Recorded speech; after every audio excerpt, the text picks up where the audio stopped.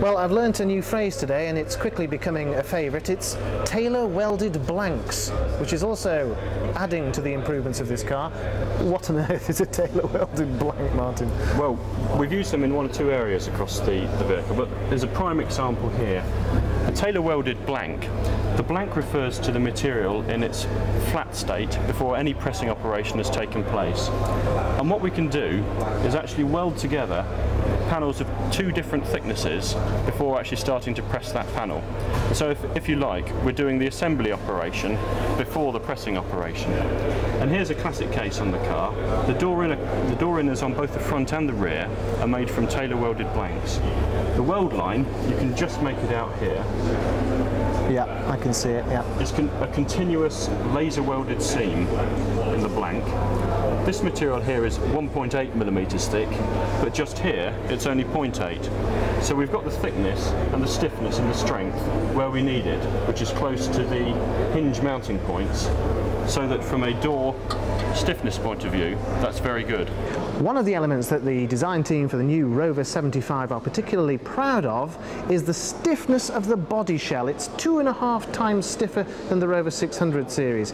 And for these improvements, they took the BMW 5 Series as their benchmark. Well, to find out exactly what all that means, here's Martin Walker from the body structure team. Hiya. Um, body stiffness, what does it mean? Body stiffness, we can think about that in, in two terms, two ways.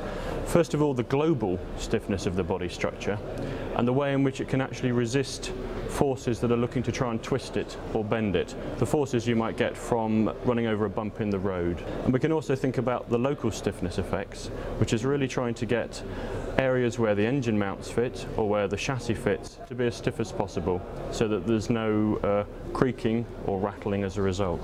Does it improve the drive performance as well to have a really stiff body and chassis? Having a stiff body allows the chassis to behave properly because the chassis is re reacting all its loads against a very stiff structure rather than against something that might actually move itself. Now you're saying it's two and a half times stiffer than the Rover 600. That's right. Uh, so what improvements have you made? How have you done it? This is what we call a, a body section and the way, it's the way in which we actually join the uh, different panels together. What we've done with this is try and make the section as large as possible because making that section large is making all the metal work as much as possible.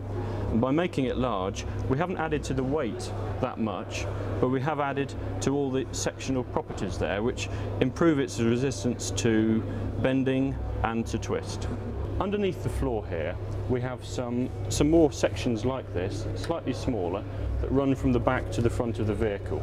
You can see either side of the spare wheel well, we have what we call the rear longitudinals, which is a box section about 100 millimeters square, which runs underneath there and then runs and dives out into this section just underneath the rear door. This section then runs along underneath the doors and as it comes up to the front of the car, so again it dives back into the, the uh, dash area and that then comes forward into the front longitudinals, similar section sizes, forming a very stiff underframe on which we can then mount the upper structure. Okay, so the driver of the new 75 will notice what, particularly about the stiffness of the handling? How will they notice the improvements? I think they will notice the improvements in its wind noise improvement, the refinement, if you like, throughout the vehicle, absence of squeaks and rattles because a stiff body structure isn't going to start any of the other components that attach to it moving relative to each other and therefore starting a squeak or a rattle.